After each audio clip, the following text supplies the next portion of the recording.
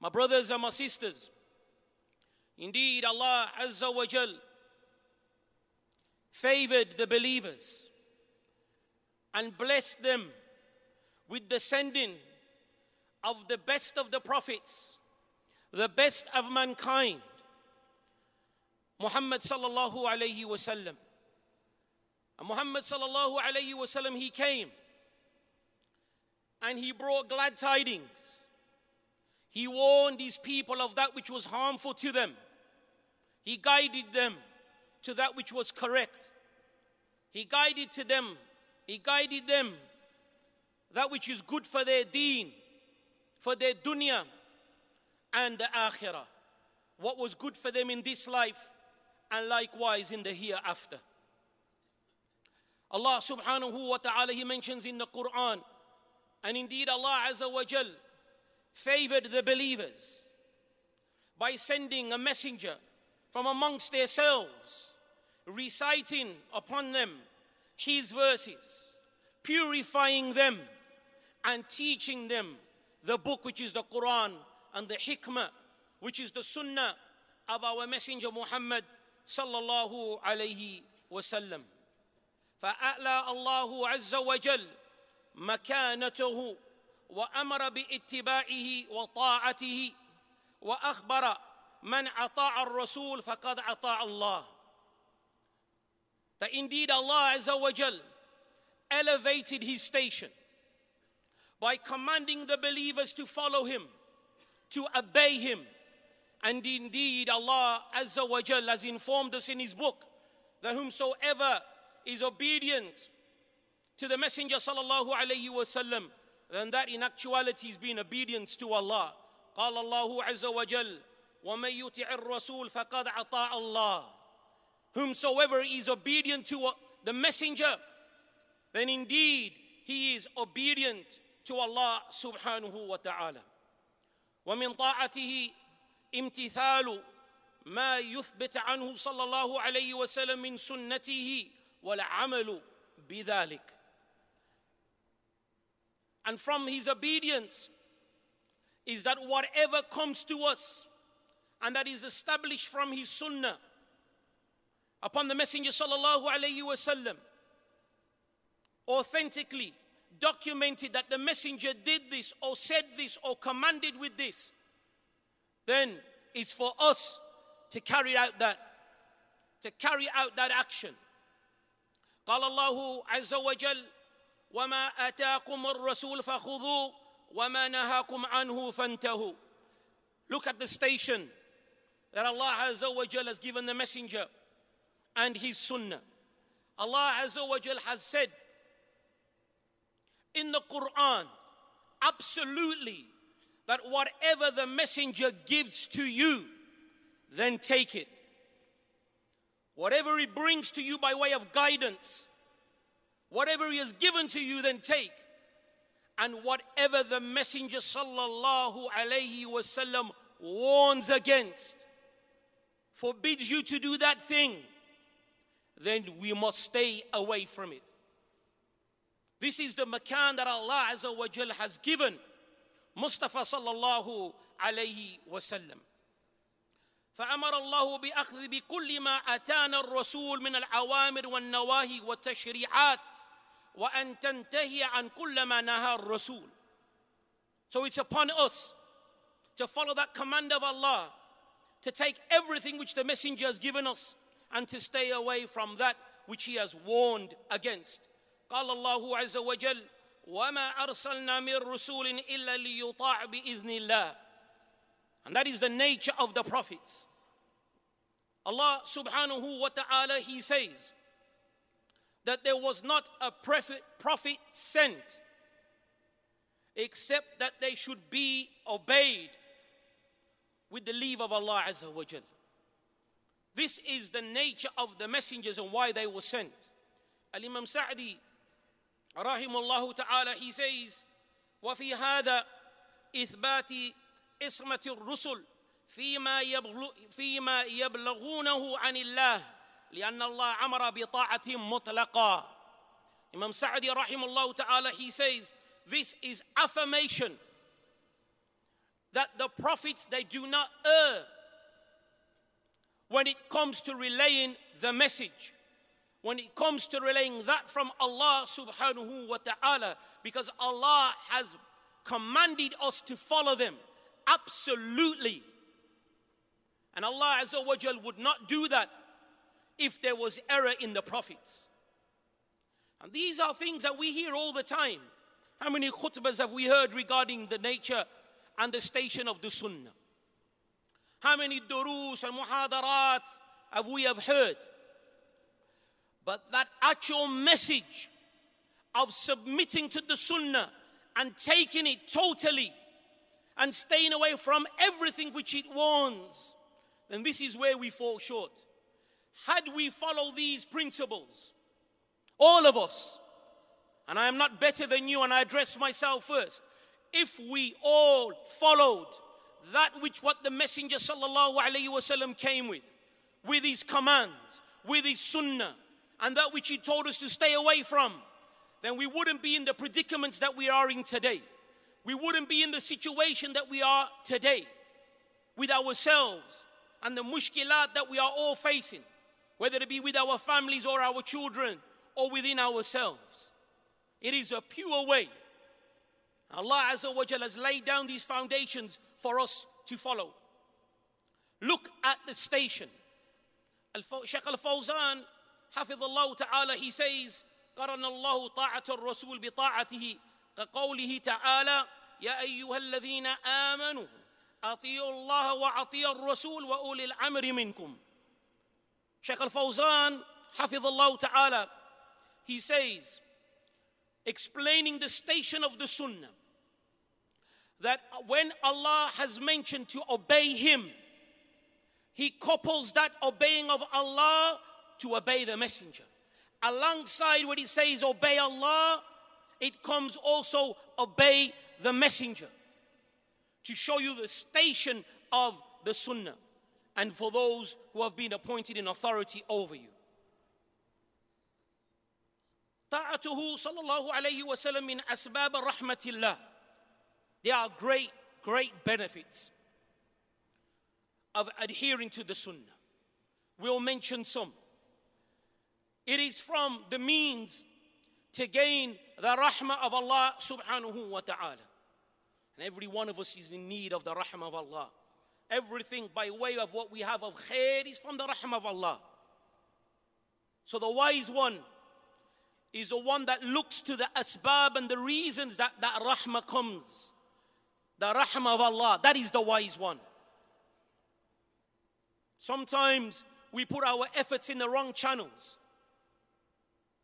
If we have the rahmah of Allah, then we have tawfiq. And being obedient and following the sunnah will help you gain that rahmah of Allah Azza wa Jal. قال الله عز وجل وأطيعوا الله والرسول لعلكم ترحمون Obey Allah and obey the messenger so that you may have rahmah from Allah Azza wa Jal. You get that mercy from Allah subhanahu wa ta'ala. You want to be successful? من أراد الفلاح فعليه بطاعة الرسول. You want to be successful? This is the real success. The real success is what Allah has told us is success. Every one of us that is sitting and witness what I am saying. If you think you're successful, or shall I address myself as well? Let's measure it with what Allah says. What is success? Allah subhanahu wa ta'ala, He mentions in the Quran, فَالَّذِينَ آمَنُوا بِهِ Verily those who believe in Him, man, Mustafa sallallahu alayhi wasallam. Allah says, whoever believes in Him, وَعَزَّرُوهُ and they honor Him, وَنَصَرُوهُ and they aid Him, وَاتَّبِعُوا النُّورَ الَّذِي أُنزِلَ مَعَهُ and they follow that nur, that light that he came with that was revealed to him by way of his guidance. If you do this, أولئك هم المفلحون. They are the successful ones. That is what Allah Azza wa Jal has mentioned. They are the successful ones. The ones that follow that nur, follow the light of the messenger صلى الله عليه وسلم قال الله عز وجل ومن يطع الله ورسوله فقد فاز فوزا عظيما Whomsoever is obedient to Allah and obedient to His Messenger, then indeed he has gained a great success. في الدنيا والآخرة. And the greatest success, as Ibn Kathir he mentions, رحمه الله تعالى, وذلك أنه يجار من النار ويسير إلى النعيم المقيم. And from that greatest success is that he will be protected and have salvation from that hellfire and his mushir, his destination, will be into a bliss that is everlasting, never ending. May Allah Azza wa Jal make us from them. وصلى الله وبارك على نبينا محمد وآله وصحبه أجمعين الحمد لله رب العالمين والعاقبة للمتقين ولا عدوان إلا على الظالمين وأشهد أن لا إله إلا الله وحده لا شريك له اقرارا به وتوحيدا واشهد ان محمدا عبده ورسوله صلى الله عليه وسلم تسليما مزيدا اما بعد from the great benefits of following the sunnah loving the people of the sunnah there is tremendous reward in that loving the people of the sunnah and the head of the people of the sunnah is indeed our messenger muhammad sallallahu alayhi wasallam. Lend me your ears to this tremendous athar and hadith regarding the loving of the messenger sallallahu alayhi wasallam and his sunnah. The story of Thawban Mawla Rasulullah sallallahu alayhi wasallam.